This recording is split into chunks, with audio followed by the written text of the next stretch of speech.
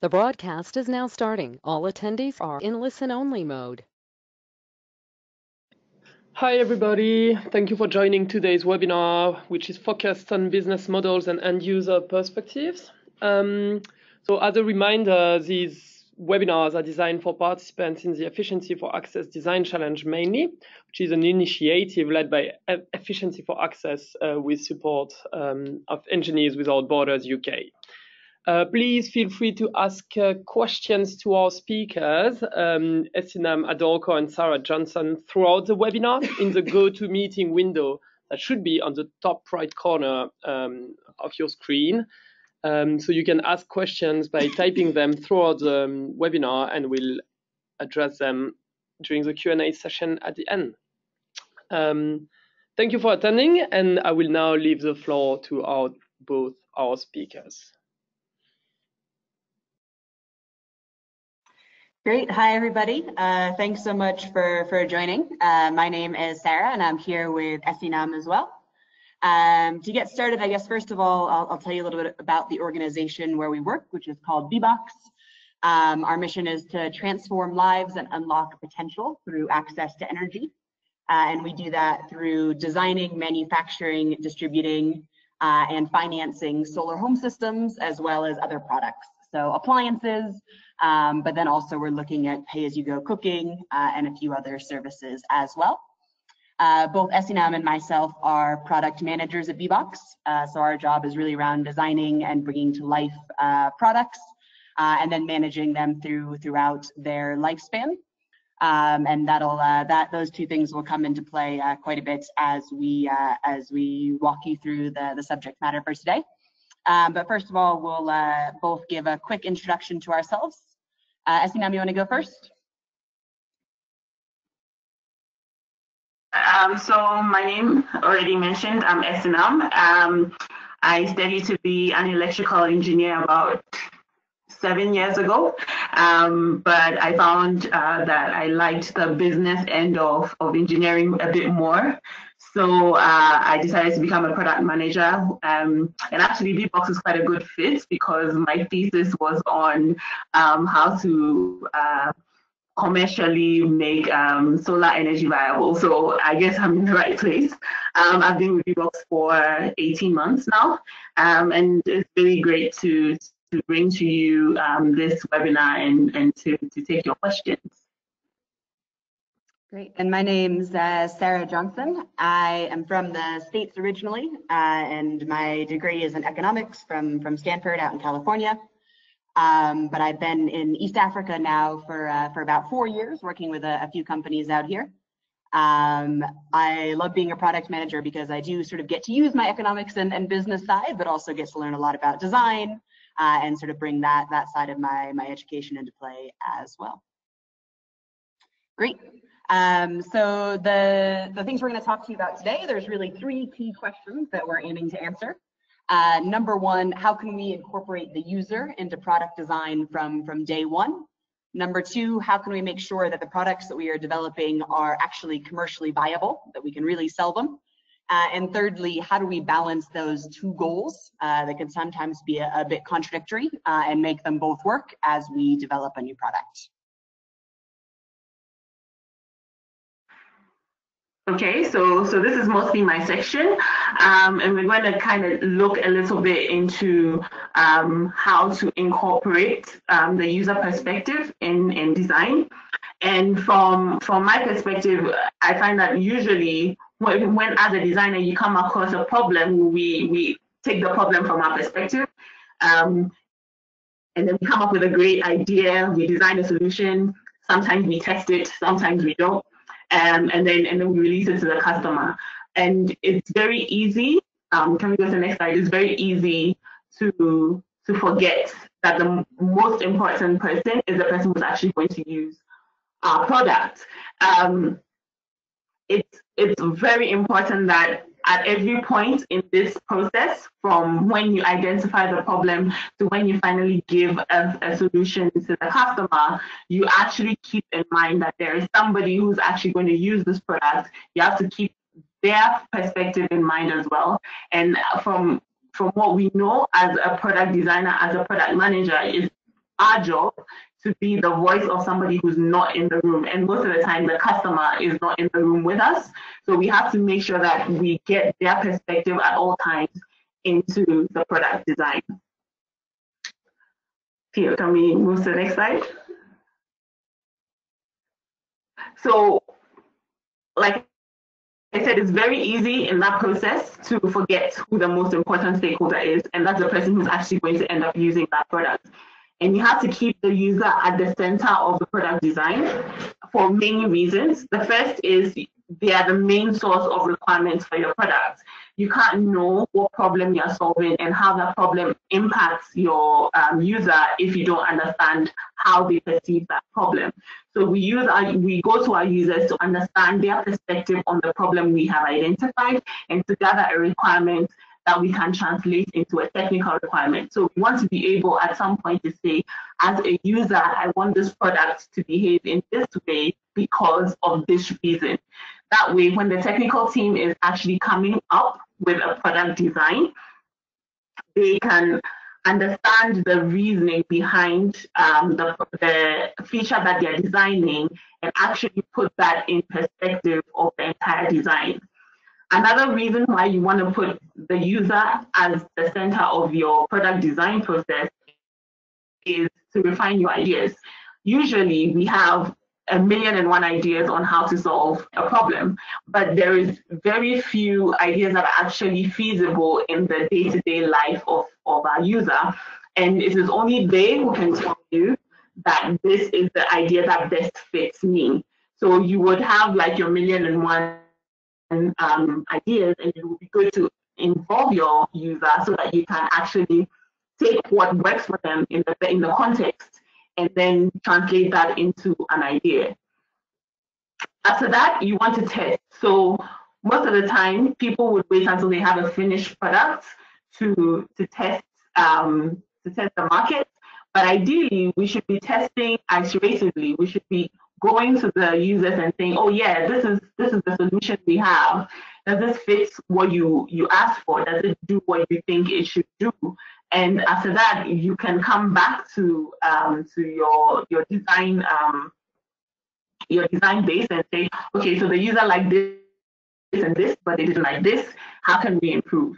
And that actually keeps you um, having fresh and innovative ideas all the time that actually leads me into the next reason why we should have the user at the center of product design, and that is to get feedback and improve.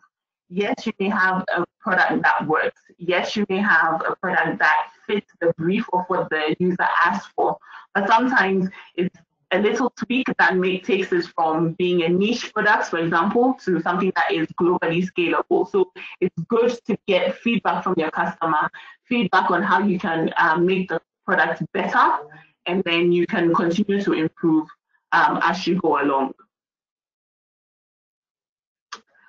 So, Pio, next slide, please. So I'm going to talk a little bit about the different ways um, that you can involve users in um, product design. And I'll give you a few examples uh, from what BBOXX has done. And then I'll actually take, after this, I'll take you through one specific example um, with, with a, a recent um, appliance development. So the first thing is to ask questions. Your users understand the, the problem the best. Um, you can you can never be exactly the person that is going to use your end product. So it's always great to find out about who is going to use your product. So you need to ask them how what problem they're facing, how that problem impacts them. You need to understand the different variations of um, solutions that they have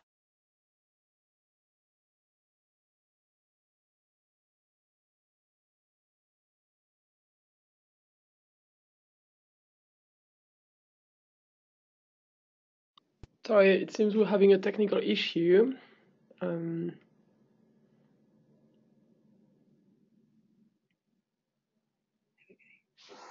okay. Yeah. I think I was muted by mistake. That's fine. So I was, as I was saying, you you want to be in a position to ask the user as many questions as possible, especially about what alternatives they have to solving the problem, because you don't want to come out with a solution that doesn't make sense in terms of the alternatives. If you come up with a solution that is, for example, way too expensive um, to the alternatives they're using, and I, I will I will bring an example of um, uh, our TVs, for example, our, our customers who buy TVs obviously have no alternative to, to have a TV. So this is this is why our TV solution works. Whereas if, for example, if we have customers who have an alternative for a TV, they would then begin to compare like the various features. So you need to find out, okay, so if people don't have a TV, what else can they use? Can they use a radio? Can they use a tablet? And if they do have those options, and those options are a lot less feasible than yours, then you already have a, a very clear problem.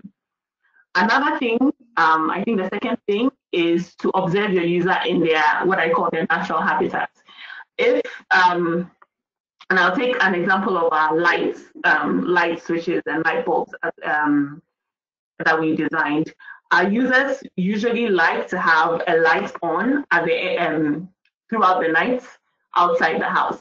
It makes no sense to to design um, a light that cannot be strung from our box to the outside of the house. We only found this out after we had actually observed what um, how our users were using some of our light bulbs. So immediately as soon as you understand that, then you can start to make changes to the way that the, the light box, the light bulbs connects to the box and actually think about where they switch this on, where will they switch it off? Um, how can how can we improve that experience so that users can find um, satisfaction in the way that they use the product?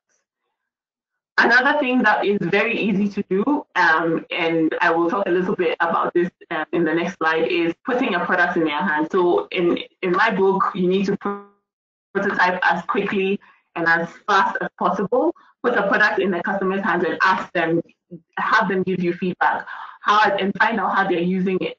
Is um, is the product working the way they expect? Do they want different things? Um, do do they think that it doesn't fit exactly the needs that they have? Sometimes we have an idea that doesn't necessarily work um, the way that the customer expects. So um, one of one of the things we realized, for example, with our fridge, was that customers wanted to clean the fridge after they, they had it. And there was no way to actually have an off button in the fridge. So customers kept asking, why can't I put an off button in the fridge? And that's immediate feedback for us as designers to, to go back and say, okay, so where, where can we put an off button? How does an off button fit in with this design? Linking very closely with that is point four, which is to close your feedback loop.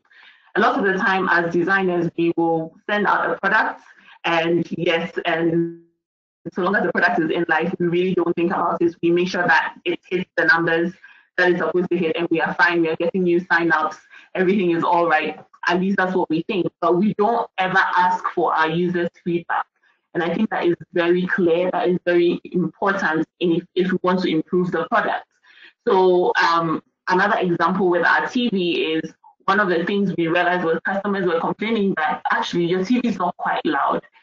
So that is immediate feedback for us that how can we then improve the loudness of our TV? And if we can't improve the loudness of our TV, what else can we do to help our customers to have a, a better TV viewing experience? And actually, that led us into the development of our um, speaker. So basically, if you close your feedback loop, you get more innovative ideas. You get new ways to think about the same problem and you get new I um you can consider new um, solutions to the exact same problem. Um, the last thing is to learn from the data. One thing that is not always apparent to designers is that customers don't always know what they want. So sometimes the customer will say one thing and then they will do something else. So um, customers will tell us we want a, a much la larger TV because we watch TV all the time. But sometimes all the time is not quantifiable. So you need to go back to the data and say, okay, so we can see that customers are watching TV six hours of the day instead of um, 12 that they told us. That is important information that you can put into your design and help um, to improve your design. So all of that actually comes from a position of being able to prototype as quickly as possible and getting that feedback from multiple sources. So you have quantitative data and then you have qualitative data. Right. So I'm going to talk a little bit about the uh, um, example with the iron and how we took it from all the through all the five steps. The first being um, listening to our customer and observing them. The second being giving them a prototype to, to test with, and then actually improving the prototype based on feedback and on data. So in one of our markets in DRC, our number one requested appliance every time we spoke to customers was we want an iron. We need to be able to use irons with your system. So everybody kept on asking, how can we get an iron? So we found that it was very important to our customers that they, they have um, a way to iron their clothes. Then we started our research process. We, we spoke to people who were going to be paying customers of an iron and asked them, what are your alternatives today? Um, a lot of them said, well, we use a charcoal iron. And immediately we had a baseline. Okay, so that means our iron definitely has to be better than a charcoal iron, even if it can't be as good as an AC iron. And so we went back with some requirements to our technical team, and then they made a first prototype, which we tested um, in our uh, labs and checked off that it met the basic needs of our customers. Then we send this iron back into the field and ask customers, what do you think? We got a lot of feedback just from even observing customers as they did their ironing. And we went back and actually redid the prototype and sent it back again for, for another round of testing. This is, at this point it's in the stage B where we have a second prototype and we are asking customers does this then meet your, your criteria for an iron? Is it hot enough? Does it make you, does it allow you to iron as quickly as you can? All of this is information that we're going to add into the final design of our, of our iron. Basically, this is not a finished product. We're just going to, going to continue to um, iterate this iron until we have a product that is viable and can be sold.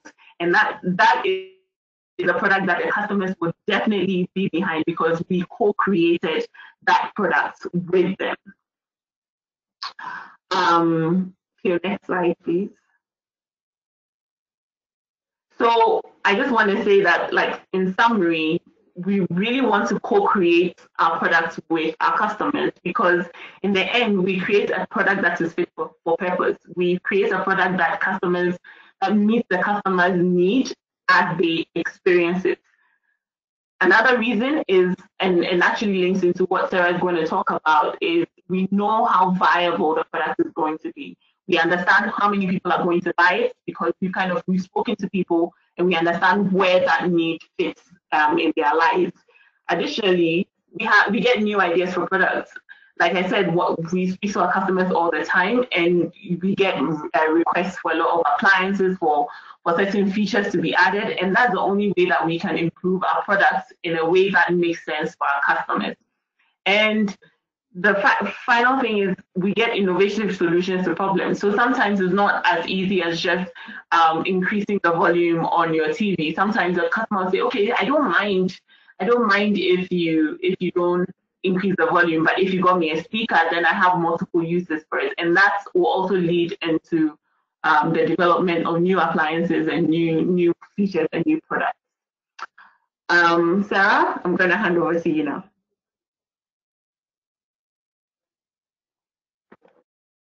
Great, thanks, Essie.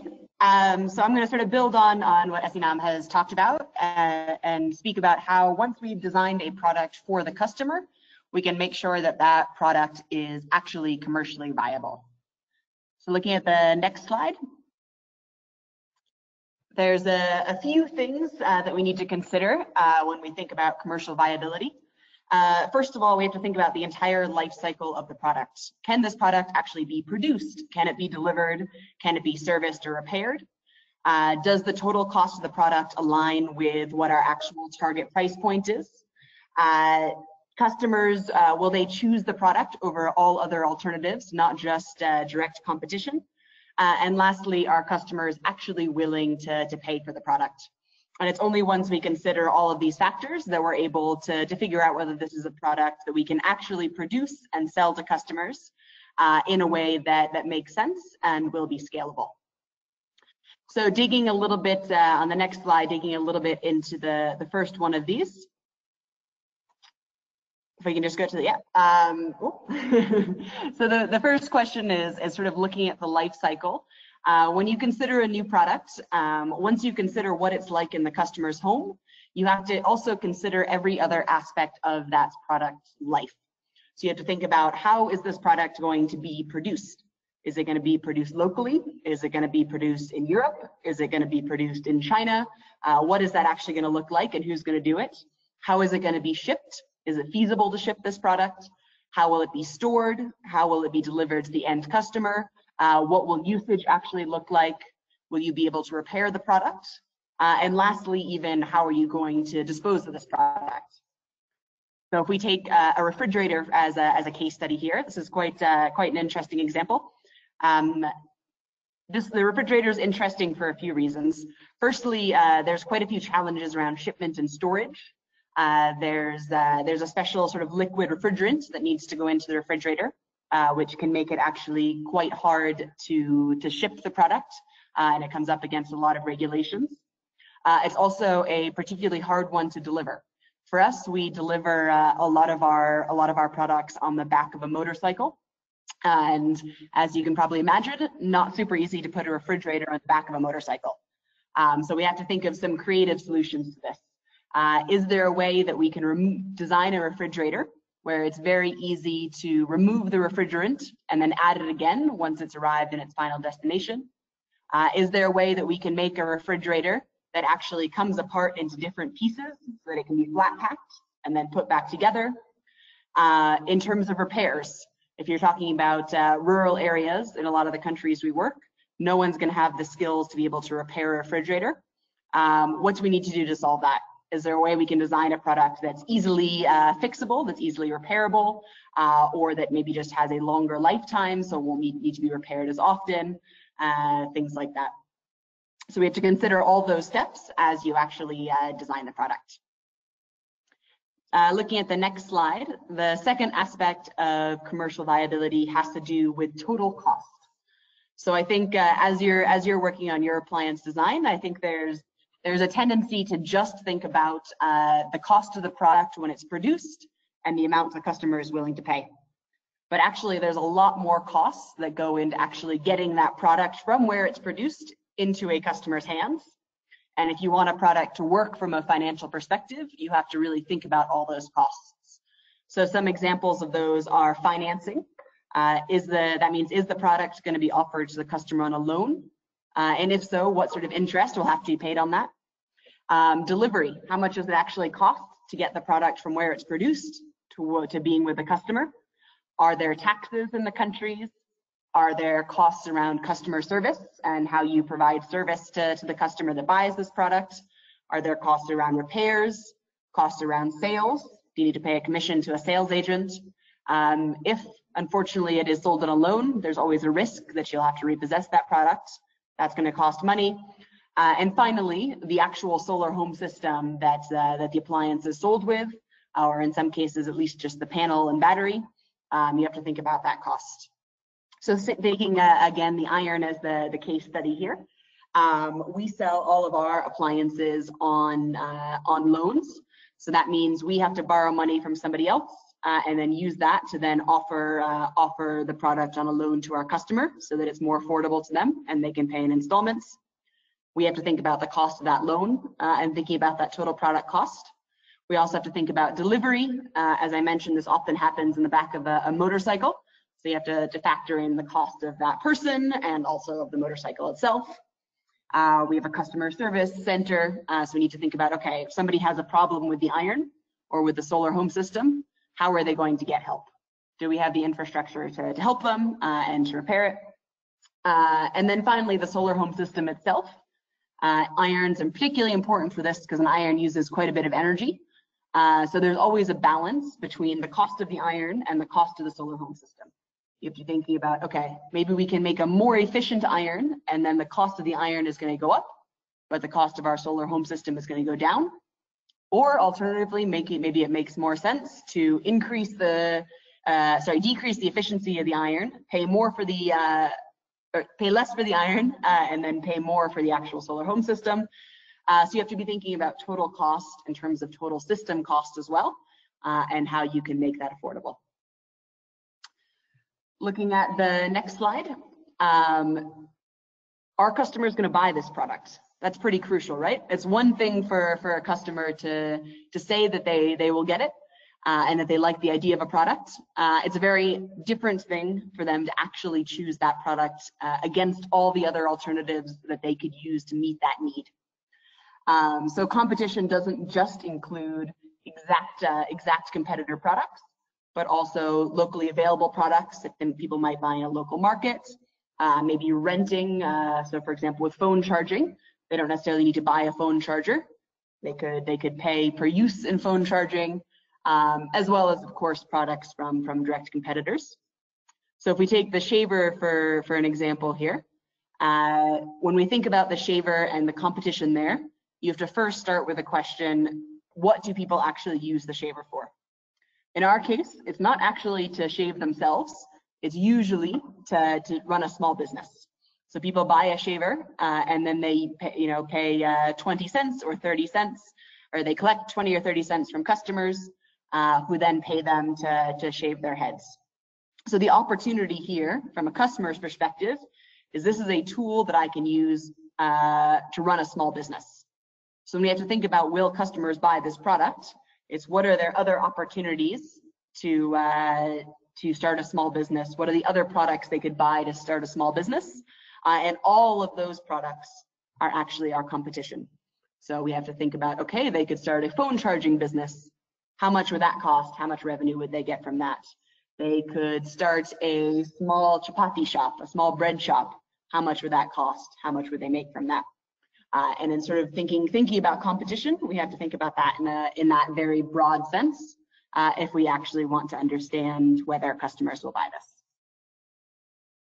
Uh, next, sort of along the same line, uh, we have to think about not only is this a good option for customers, but will they actually buy it? So customers are, are notorious. Uh, it's, it's, sort of a it's very, very common for people to say that they're going to buy something uh, and then for there to be a pretty big gap uh, between what people say and what they actually do. So it's really important in, in considering as you design an appliance to, to look really closely at whether people are willing to actually uh, put up money to, to buy a product. Uh, so there's a few different ways you can do this. Uh, the, the best case uh, is that you're actually able to do a randomized sale trial. So actually try selling the product at various price points uh, and look at how, how many people are willing to buy at each price point. Um, that's the ideal version, right? Because then you really get a, a, good picture of, okay, we sell it at this price, this many people will buy, this price, this many people will buy, and you can map out a really clear demand curve. Uh, but in the reality of product development, that's often not the case. Uh, so there are some other alternatives. Uh, one, you can try selling a product that's similar um, and that can be either either at large scale or small scale. Uh, if you're doing customer research, you can even carry with you a product that is similar to what you're developing uh, and actually try to sell that during your customer visits. Pretend that it's a real product, see what people say. That'll already give you a little bit of a sense beyond just sort of a, a general commitment to buy. Are people actually willing to buy today? Uh, you can also look at sales of similar products. So try to find uh, uh, someone who's selling something that's similar and look at their sales trends, compare their prices to your prices, compare their features to your features, and, and see how much they're actually able to sell. That'll give you a, a good baseline. Uh, and then lastly, you can do surveys. You can actually just go out and you know call 100 people and ask them if they will buy something. Um, but when doing that, keep in mind uh, that probably quite a few less people will actually buy than say they do. Uh, in the willingness to pay surveys we do, we usually use uh, about 25 to 30% of people that say they will buy something actually will buy it. So it is rel a relatively small amount, um, but that's still a good, it'll still give you a good sense uh, generally of whether there's interest in the product and whether people are actually willing to, uh, to pay for that product. Yeah, I think that's that's uh, about it. So we've spoken today about uh, Essie spoke first about uh, how we can design products for uh, for customers uh, and with the user really uh, at the center of their mind.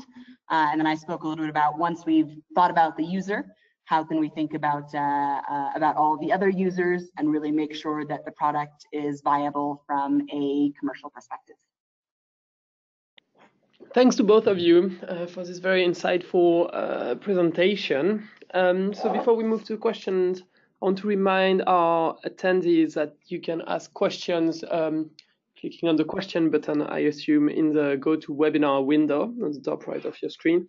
So please do ask questions to our panelists um, that are available for an extra half an hour now. Um, so thank you. And as you said, Sarah, you so Essie talked about um, um, user experience and how to define um, user needs exactly, and you talked more about the commercial viability of products. Um, the first question, um, and I think you, you'll have a lot to say about it, uh, both of you, um, is how do you balance these two things? So how do you balance user experience and commercial viability? Um, which one is more important, um, and how do you decide which one is more important depending on the product? Yeah, definitely. Um, I can I can answer first maybe, uh, and then uh, and then Esinam, uh, you can can also add. I'm sure you have a lot of separate thoughts as well. Um, from from my perspective, I think I mean it's a bit of a cop out, but I think they are both sort of very crucial, right? Uh, if you don't design something that uh, that meets the user's needs, no one's going to buy it. If it's not commercially viable, you're not going to be able to make it and sell it. Um, so I think they're both sort of equally important. And if you're missing either one of those, you're uh, you're really going to, to have some challenges.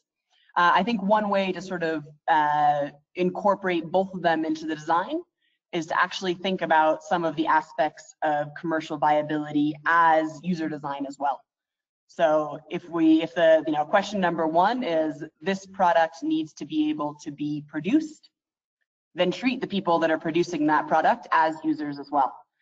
Go to the production facilities, think, figure out where it's going to be produced, uh, and, and really understand the needs of those people. Or if the need is that it's going needs to be repaired, um, again, the people in, in repair centers or, or the people that are in charge of that side of things are also users. Um, and you need to understand their requirements uh, just as well. Um, so I think especially for that life cycle side of, of commercial viability, uh, sort of thinking about your, your user base in a broader sense uh, can really help to, to sort of mesh those two things and, and make sure they're both, both accounted for.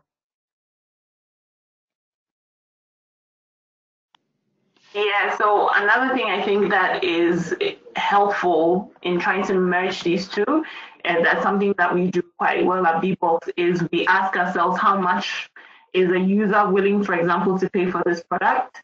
And then we try to add that as a requirement for the product. So then basically we start from a point of, okay, so we hope to, uh, we aim to make this product at this price point, um, and, and at that price point, we'll still make some money. Um, but then it actually meets the user need. And then we take that requirement to, to the um, technical team and say, okay, so whatever we design has to meet um, these requirements, including the commercial requirements.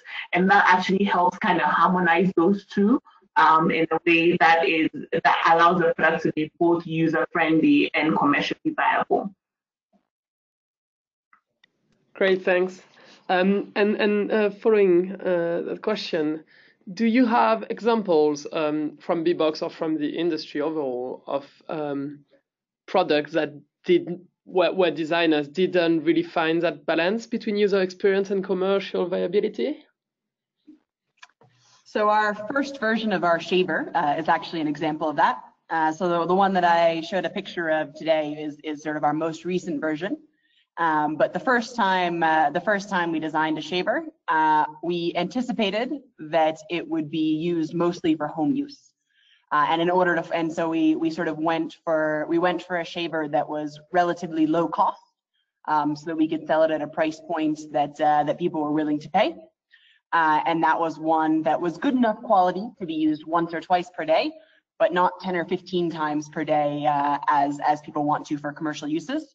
Um, and so as we started selling it, we started getting lots of complaints uh, and we started getting lots of failures and we had to sort of revisit it and say, okay, why is this happening? Why is it not meeting the needs in the way we thought it was going to? Uh, and it was because people were trying to use it for that commercial use. So we had to go back, restart our customer research uh, and put together a new set of requirements and say, okay, if people are gonna uh, use this for a commercial use, we actually need six hours of battery life per day. Uh, we need this product to be able to last for 2000 shaves um, we need it not to, we need it to be able to be used, you know, three times in a row instead of just one time. Um, and so we had to actually go back and, and revisit all those requirements and, and really work a, a lot harder on our design uh, to still keep it at that price point, um, but be able to meet the, the real use case. Great, thanks. Uh, good example indeed. Um, this question was, well, Essie, you, you touched base on it, but uh, you can both answer, right? Um, could you tell us a bit more about how you do and how you conduct your, your consumer research in practice? Um, as in, like, are you going to people asking questions? Do you give them the products and look at them and look at their behavior? Could you tell us a bit more about that? Okay,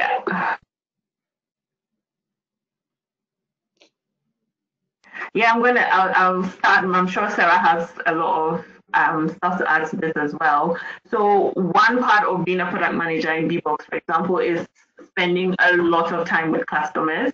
Um, that means um, do, conducting customer visits uh, to see how um, they use the product, um, asking them questions, and like I said, a little bit about actually looking at the data that comes from the use of your product. So those are three things that we do quite well in BBOXX. And just an additional thing that we do in, um, is to rely heavily on our market research team. So they spend quite a lot of time with our customers and with competition customers to understand the needs of the market and allow us to and give us that information which allows us to also continue to innovate and improve our, our products. Sarah? Yeah, definitely. I mean, I think I think Essie is very right that, that spending time with the, the customers is the most important thing. Uh, and I think during those those times, always having having new products and, and new things to, to test out. Uh, so well, whenever we're considering a new product, the first thing we'll do is buy as many samples as we can of similar products and start showing those to customers. Um, so I think it's it's easy to say, okay, no, this isn't exactly what we want to produce, so we're not going to show it to customers yet um, but then you don't learn. So it's much better to, as soon as you have anything in your hands that's remotely similar to what you're trying to produce, take it to a customer. So for example, if we're considering tablets, um, we'll go out and buy a, a, bunch of local tablets from the local market uh, and bring it to customers and start getting feedback on day one uh, instead of just asking them questions about uh, about what they want to uh, what they would want to buy and then designing something and, and, and showing it to them. Well, thanks uh, for the answers. Um, moving forward, uh, we have another question. Um, so you're probably aware of the sustainable uh, development goal of leaving no one behind, and that is a very broad uh, statement to make. Uh, so talking about gender inclusion, also children, um, disabilities, etc. Um, how does BBOXX um, take that into account when designing a product, and how is it uh, something uh, you incorporate in in the process of designing a product? Yeah, definitely. So I, I think uh, it is always a challenge, right? Especially when you're trying to be uh, to be a commercial company. Uh, I think it would be dishonest to say that's not a challenge. Uh, there's always a balance between between designing something that really can access as many customers as possible and designing something that uh, that can be sort of commercially sold. Um, but a lot of that is, uh, a lot of the, the way to get over that is to really have sort of a consistent focus on both affordability and quality. Uh, and trying to find the, the balance there uh, and constantly trying to, to, to get costs down uh, without that, uh, sorry, without, uh, without sacrificing quality and then sort of the, the, the quality of the products that you're producing. Um, but I think there's another aspect just around considering all different kinds of users. So we often distinguish uh, in, in our work between the user and the payer. Uh, in a lot of the markets where we work, uh, the reality is that it's often the, the male who's the head of household who controls the finances, um, but it's often the women and the children who are actually using the product. Um, so if you go into a, a customer visit, uh, it's sort of natural often for it to be the, the man who answers most of the questions. Um, but it's important to, to not just uh, listen to his requirements, but also speak to the people that are actually using the product, uh, which is often other people. Uh, the iron, which we talked about a lot, is a good example of that. Um, you've got several different layers of users there, right? It's often often the man who's who's paying for it, um, but it's either the women uh, or sometimes even the children or other people who work in the household uh, who are actually the ones using the product. Um, so you have to get all of those perspectives um, if you're really going to, to design a product that's going to, to do the best job for the people using it. Thank you. Um, Essie, do you want to say something about it maybe? Actually, I don't have much to add to that. It's really um, about finding out um, who's going to end up actually using the product and understanding their perspective and their needs um, and trying to align all of those that the user the payer and um, the obviously the commercial need and trying to make sure that there's some alignment i can't say it's an easy task but it is a task that we we normally have to undertake one sorry adding one more thing i guess one one uh, one benefit of something like the the solar industry is that often because it's women and uh, and children who are using the products uh, if we do end up saving them time, um, then it does open up a lot of their time for, for other activities. Uh, so sort of to, to that sustainable development goal, um, I think there's some significant benefits that aren't always obvious uh, in terms of, you know, if you can, uh, if women have to spend less time walking to the market to buy candles, or if children are able to study with light, or, or sort of all these other things, uh, they can have a, have a pretty significant impact there. Nice, thanks. Um, and I'm using the opportunity to flag to our attendees that uh, our next webinar um, held for the Efficiency for Access Design Challenge will be actually focused on uh, social inclusion and in particular uh, gender and disability. Um, thank you. I have um, a last question for you too. Um, so obviously BBOXX um, is spread across uh, sub-Saharan Africa. Um, and you mentioned, for example, that the iron is designed for the DRC market. Um, could you tell us uh, more about potential differences there are between countries and how one product adapted for one market could not be for another one? Do you want to go first in this one? Okay, so um, I, I, started laughing when you when you started the question because we find this very very um, keenly in, um, for example, the DRC versus, for example, Rwanda, where we have in DRC a more peri-urban um, and a more wealthy customer as compared to um, Rwanda, where we have most of our customers being um, rural farmers. So usually, what we do is we do spend time across both um, markets, across multiple markets, trying to understand the various um, use cases for the same um, product. With that in mind, then we come back and actually align across. Okay, so what is what is equal in in both places? What um, use cases actually um, exist in both scenarios? And then we can actually begin to distill some requirements from there. If we find, for example, that there's a product that is very specific to a market, then we we actually then kind of stay in that market and design on a smaller scale, co-creating with the market. So um, very much, for example, the iron is very much co-created with the, the DRC markets because it is um, a major appliance for them, but doesn't necessarily translate into um, uh, viability in, in other markets. Sarah? I, I, very much agree with that. I mean, I think it, it does come down to, to just sort of putting in the time uh, and, and making sure not to, to assume uh, that users are the same across markets and to really visit them, treat each new market as a, as a new product launch uh, and a new product development essentially. Um, and there are there have been occasionally times for us where we have had to uh, design appliances slightly differently for different markets. Uh, and certainly in terms of the actual solar home systems themselves, uh, we do have, uh, each different market has to have a different combination of, of systems to sort of meet the, the needs there. You know, some of our West African markets, it's essential that they have a, a fan and a TV together. So we're looking at, at that use case uh, versus someplace like Rwanda. Uh, they're not really interested in the fan, it's not as hot. Um, so our goal is really just to meet their basic needs at as an affordable a price as possible. Um, so there is some sort of redesign that, that has to happen for different markets, certainly. Thank you.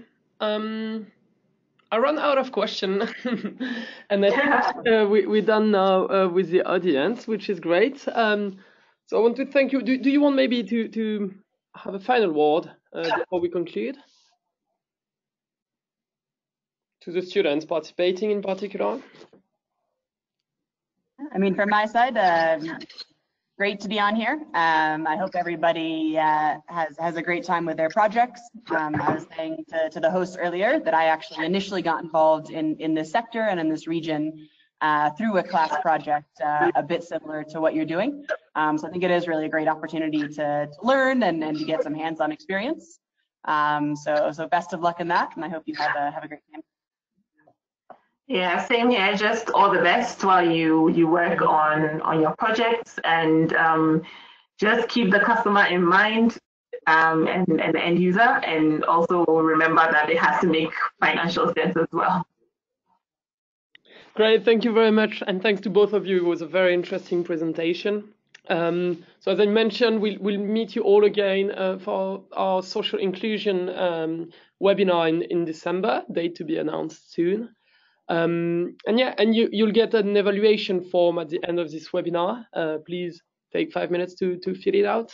Um, thank you to all our attendees and thank you, Essie and Sarah, for, for your presentation today. Very welcome, guys. Bye-bye.